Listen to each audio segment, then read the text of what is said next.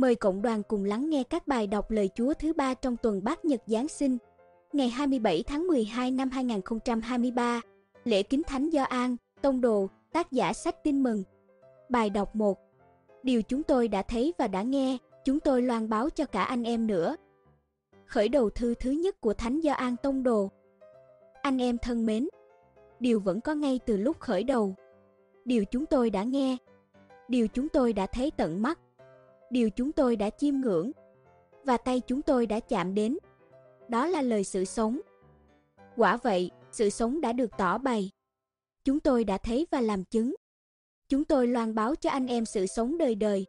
Sự sống ấy vẫn hướng về Chúa Cha và nay đã được tỏ bày cho chúng tôi. Điều chúng tôi đã thấy và đã nghe, chúng tôi loan báo cho cả anh em nữa, để chính anh em cũng được hiệp thông với chúng tôi mà chúng tôi thì hiệp thông với Chúa Cha và với Đức Giêsu Kitô, con của người. Bốn những điều này chúng tôi viết ra để niềm vui của chúng ta được nên trọn vẹn.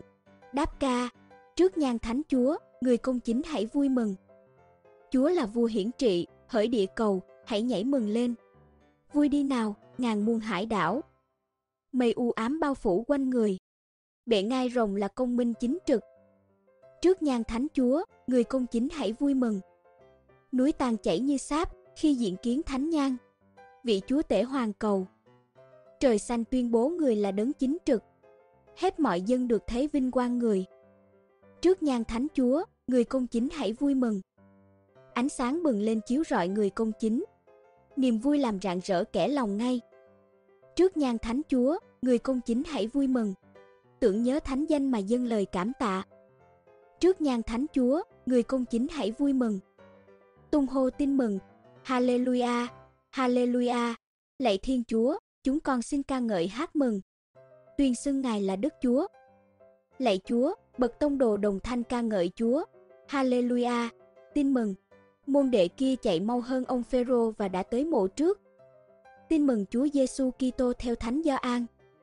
Sáng sớm ngày phục sinh, Bà Maria Magdala chạy đi gặp ông Simon Phêrô và người môn đệ Đức Giêsu thương mến. Bà nói, người ta đã đem Chúa đi khỏi mộ và chúng tôi chẳng biết họ để người ở đâu. Ông Phêrô và môn đệ kia liền đi ra mộ, cả hai người cùng chạy, nhưng môn đệ kia chạy mau hơn ông Phêrô và đã tới mộ trước. Ông cúi xuống và nhìn thấy những băng vải còn ở đó, nhưng không vào. Ông Simon Phêrô theo sau cũng đến nơi. Ông vào thẳng trong mộ, thấy những băng vải để ở đó và khăn che đầu Đức Giêsu. Khăn này không để lẫn với các băng vải, nhưng cuốn lại, xếp riêng ra một nơi. Bấy giờ người môn đệ kia, kẻ đã tới mộ trước, cũng đi vào. Ông đã thấy và đã tin. Suy niệm, do an, ông là ai? Tôi là một ngư phụ ở hồ Galilee, còn ông Debede, e, người vùng Betsaida. Tôi được thầy Giêsu gọi khi đang vá lưới với cha trong thuyền, MC 1, 20.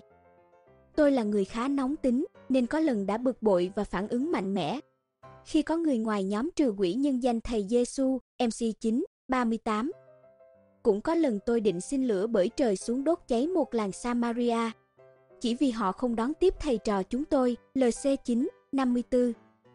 Thầy Giêsu gọi hai anh em tôi là con của thiên lôi cũng đúng, MC3, 17. Ngoài ra chúng tôi cũng có nhiều tham vọng khi theo thầy Giêsu, có lần chúng tôi xin thầy cho hai anh em ngồi hai bên tả hữu, MC 10, 37. Tôi biết mình nhiều lần làm cho thầy buồn, nhưng thầy vẫn chịu đựng và yêu mến tôi cách đặc biệt. Thầy cho tôi được vào số các môn đệ thân tín, MC 5, 37, 9, 2, 14, 33. Do An, ông là ai? Nếu bạn muốn thì tôi xin tự nhận. Tôi là người môn đệ được thầy Giêsu mến thương. Dĩ nhiên thầy thương mọi môn đệ, nhưng tôi vẫn cảm được tình thương đặc biệt thầy dành cho tôi.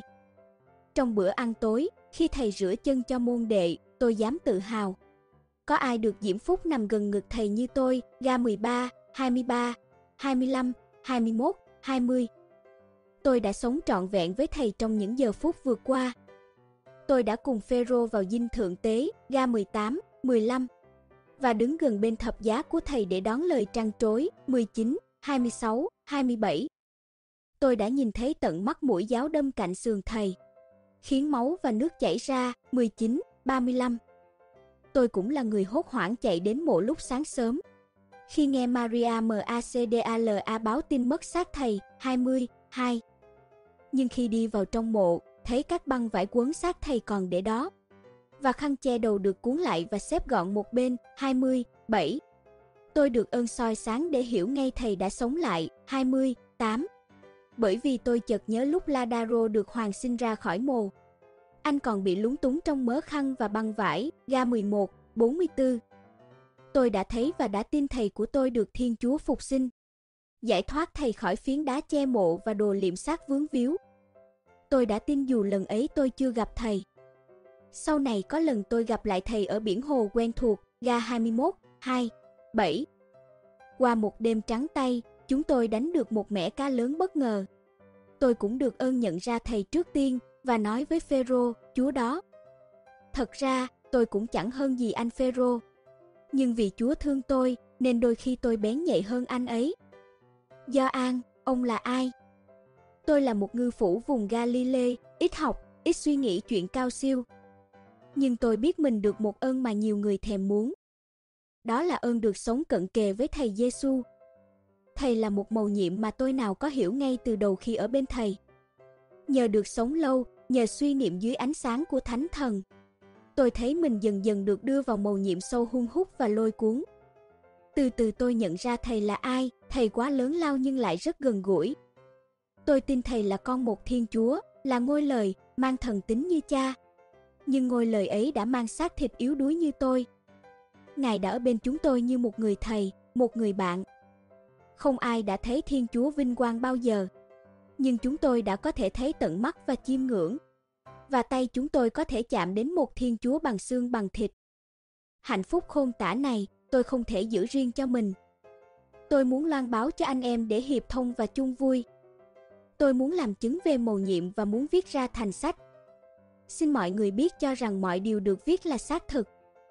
Tôi đã không làm chứng bằng cái chết như anh Phêrô, nhưng tôi làm chứng bằng lời tôi viết. Dù ai có nói gì về tôi, có ca ngợi về sự biến đổi kỳ diệu nơi tôi, từ một kẻ nóng tính, háo danh, thô thiển, đến một người đắm chìm trong chiêm niệm về một tình yêu quá lớn. Tôi cũng chỉ xin mình được mãi mãi nhìn nhận, như người được Thầy Giêsu mến thương, cầu nguyện, lạy Chúa Giêsu, con Thiên Chúa. Chúa đã làm người như chúng con, nên Chúa hiểu gánh nặng của phận người. Cuộc đời đầy cạm bẫy mời mọc, mà con người lại yếu đuối mong manh. Hạnh phúc thường được trộn bằng nước mắt, và giữa ánh sáng cũng có những bóng mờ đe dọa. Lạy Chúa Giêsu, nếu có lúc con mệt mỏi và sao xuyến, xin nhắc con nhớ rằng trong vườn dầu, Chúa đã buồn muốn chết được. Nếu có lúc con thấy bóng tối bủa vây, xin nhắc con nhớ rằng trên thập giá, Chúa đã thốt lên, sao cha bỏ con? Xin nâng đỡ con, để con đừng bỏ cuộc. Xin đồng hành với con, để con không cô đơn. Xin cho con yêu đời luôn, dù đời chẳng luôn đáng yêu. Xin cho con can đảm, đối diện với những thách đố, vì biết rằng cuối cùng, chiến thắng thuộc về người. Có niềm hy vọng lớn hơn. Amen. Còn xin chân thành cảm ơn sự lắng nghe của cộng đoàn. Kính chúc quý cụ, quý ông bà cùng tất cả anh chị em. Một mùa Giáng sinh 2023 an lành, thánh đức và tràn đầy niềm vui. Amen.